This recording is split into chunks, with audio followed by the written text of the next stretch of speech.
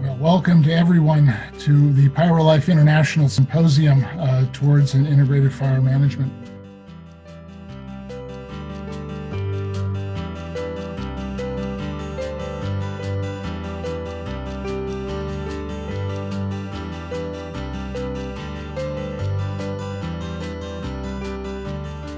So in 2019, that's last year, um, the world was all on fire. Um, if you remember, the Arctic Circle, including Greenland, was on fire in June and into July. And then the Amazon region caught fire. Then Indonesia caught fire. And then about August, Australia had been burning and it really picked up on what it was doing. And so the whole world was talking about fire until COVID 19. And this is something that we really need to note very carefully. Fire is very much an ephemeral, intermittent sort of an activity. As soon as something else comes into the mix, then fires are off the front page. That's part of the reason that working with PyroLife to cross disciplines, cross sectors, uh, and cross uh, governments and, and agencies is a really important thing. So, what, what can we do? We can help each other. We can collate local data and other data. We can present the information without interpretation. That requires context. So why should we go to adaptive fire management? Huh? I think similar to water, the risks are changing. We see above in time, we might get fires more often, but also in space, and those might be even more risky. We might get fires in places and areas where we're not prepared for it. Now, the future is uncertain, so we don't know where fires will emerge in the future. Because it's more uncertain, uh, developing scenarios might be even more useful uh, to, to, to assess the robustness of future policies and interventions. But we, we try to think about what does a major fire look like and what do we need to do to protect ourselves, it is important that, that we realize that we cannot build the future on what we've learned in the past. We have to go beyond that. Traditionally, an extreme fire is a fire that cannot be controlled or suppressed by direct methods. So by machinery or by water or by hand tools acting on the fire front. And so people also define fire behavior thresholds that define when a wildfire is extreme. And these thresholds are mostly uh, based on uh, fire intensity or sometimes fire spread rate.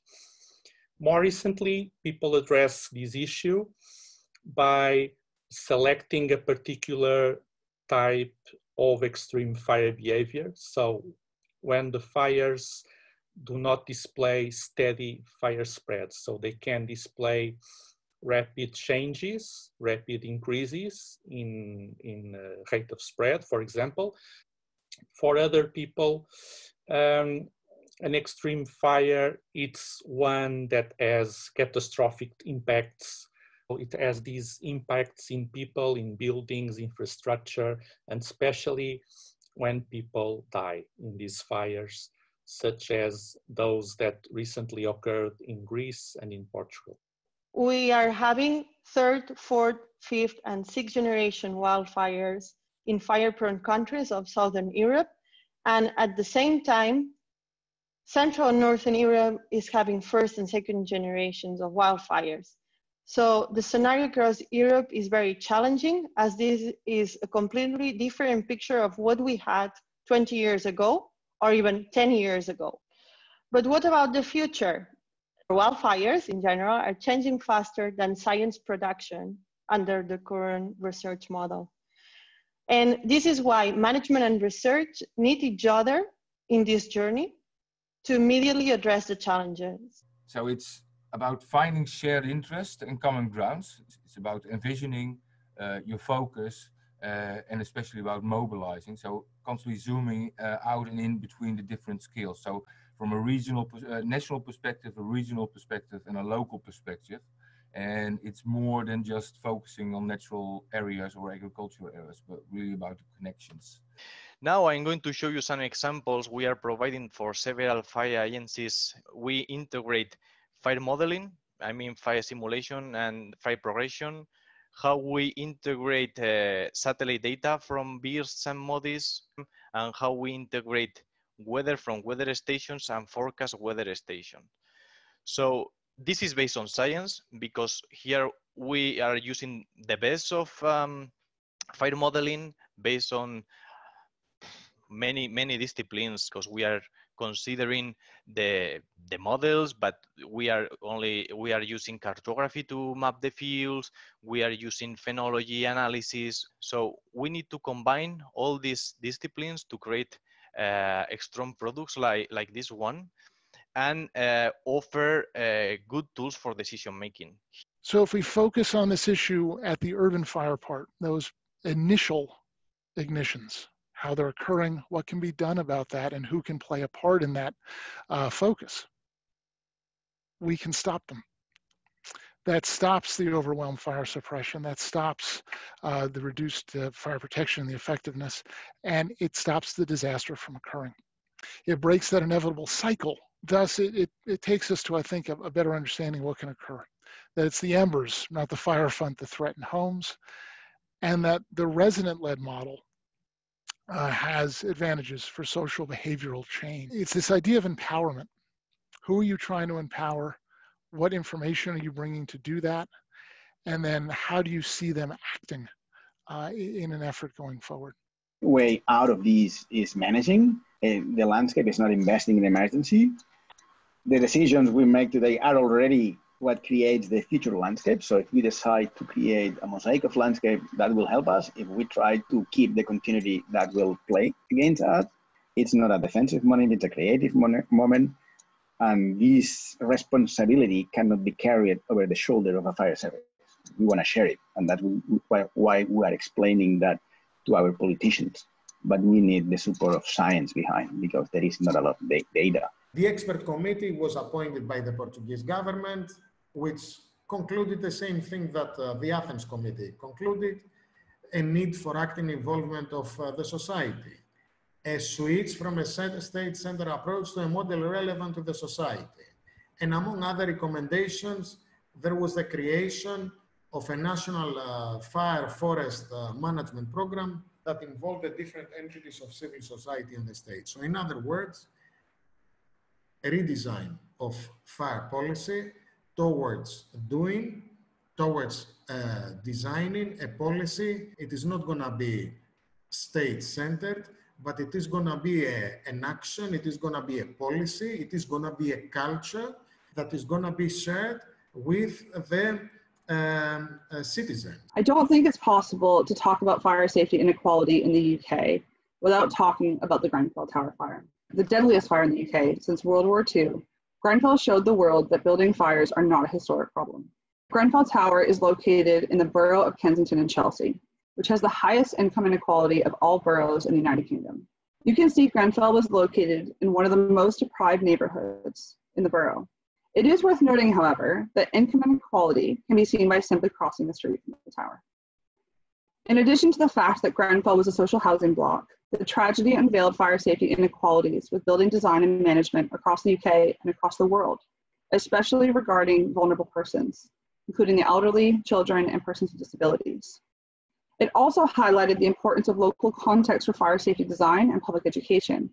Our cities are becoming more diverse.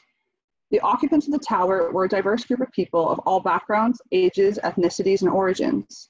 Some had grown up in North Kensington and had lived there all their lives, Others had come to the UK as refugees, in many cases from North Africa, the Middle East, Afghanistan, or further afield. We need to design and manage buildings based on evidence and insights onto how fire affects diverse populations, recognizing cultural differences in our relationships with fire and fire safety, as well as the impact of changing demographics. This will require more research and new ways of working. First of all, before we start changing fire management and how we manage and live with fire, we need to change our risk culture, our perceptions, our opinions, our values. And um, um, I'm, I'm, I'm really happy that I'm past that stage. I tried to do it, but this is far more complicated than managing fire, far more complicated. Um, for that, um, based on the 20 some years that I can look back, um, my conclusion is we need the change. Um, for that, you need a lot of friends. Um, make them make friends before you need them. We said this often in the past webinars. Um, Life, all the other projects, Pau Costa Foundation, you name it. This is all incredibly important um, to form friendships and networks. Why? Um, I'm speaking again out of own experience. You need reassurance because you will be alone. You will be very, very lonely in your home country or in your new environment. You will be lonely in your own organization. Um, if you really want to be the change that is allowing for better fire management or integrated fire management or living with fire, um, in a society. When we look at social reality, it's like looking through a kaleidoscope that has many different colors, many different patterns, and with a small movement in the kaleidoscope, everything changes. So it makes uh, quite complex to approach social reality. All these uh, complex factors uh, are connected to each other. Usually we talk that we need to move from top-down approaches in risk management, which are mostly based in instruction, towards bottom-up approaches based on participation. But even with those bottom-up approaches, many times we forget many social groups uh, we have many blind spots uh, referred to marginalized groups, social vulnerability dimensions. So I suggest to, to, to take this outside in approach, to think from these outsider spaces, which is the best way that we can change and transform the whole uh, process and risk management approaches. If we want to talk about vulnerability, we need to go to the root cases. It means, in the first place, we have to listen and learn. Australia is a really large continent. There are hundreds of di distinct Indigenous cultural groups, each with their own specific cultural protocols relating to caring for country, including cultural burning. And this diversity means that in some cultural groups, women hold the knowledge of cultural burning. In some places, cultural burning is women's business. And these cultural protocols have to be honoured in our cultural activities. But even with the diversity across Australia, there are principles that underpin uh, Indigenous caring for country practice. And these are upholding healthy, sustainable relationships with country, Fire is a key part of caring for country to create sustainable relationships with all of life by reduce, reducing the risks of wildfire, promoting resources, food, and continuing natural and cultural life cycles.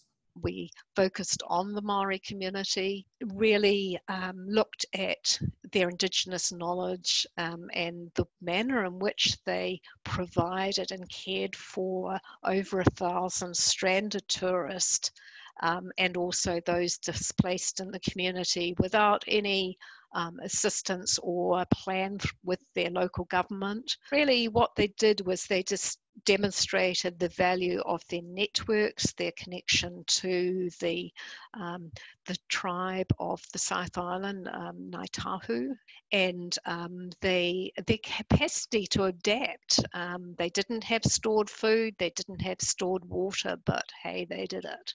Resilience and associated resistance is culturally empowering, transformative, concerned with cultural participation and cultural development, and above all, commands solid cultural leadership. And um, I think we have a lot to learn um, for the future. So, really, diversity is key in PyroLife, both inter and transdisciplinary, cross geography, cross risk, science practice and, and social diversity. We focus on this diversity and the safe working climate because we really believe it can make the science better. If we want to go from suppression to uh, integrated fire management, we need to hear all voices. And that's only possible if the team that we work with, if the, if the fire science community, um, if that is a diverse community.